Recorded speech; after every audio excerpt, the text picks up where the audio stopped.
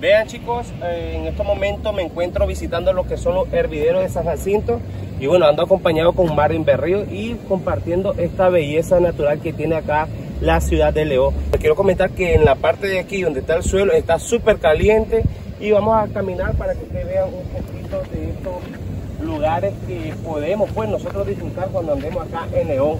Una recomendación que les doy es que por favor que cuando anden aquí visitando estos, estos lugares seguir las instrucciones que te dan los guías, que igual, este, aquí como pueden ver ustedes, hay bastantes piedras donde te indica hasta dónde puedes llegar. Hay muchas personas que dicen, no, yo voy a pasarme, pero es muy peligroso salirse de esta línea porque pueden caer ustedes donde están esa agua hirviendo. Por eso son, este, esas son las recomendaciones, la cual yo le estoy dando a todos ustedes y pueden venir a disfrutar.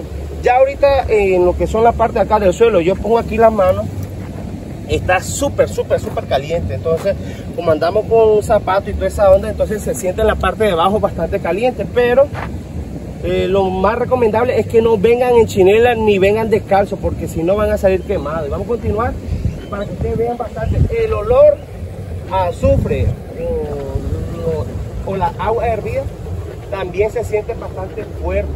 Compartiendo esta excelente vista igual, algo que cuando uno estaba estudiando, cuando estaba en primaria y, vive uno lejos, no puede venir a visitar, solamente lo encontraba en lo que son los libros, pero hoy ya que estamos un poquito grandes, andamos ya vehículos, podemos movilizarnos, estamos viendo con nuestros propios ojos esta maravilla que tiene acá Nicaragua y precisamente lo que es nuestro bello departamento León, como son los hervideros de San Jacinto. Así que lo invito a que vengan, siempre tomando la precaución de seguir este sendero donde están las piedras y nos están indicando los guías que no hay que avanzar más para allá. Bueno, no hay piedras, no hay señalización y es mejor evitar, ¿oyeron? Así que compartan, le den like y vean allá, vamos a compartir esa imagen. Espero que compartan, le den like y que visiten estos lugares.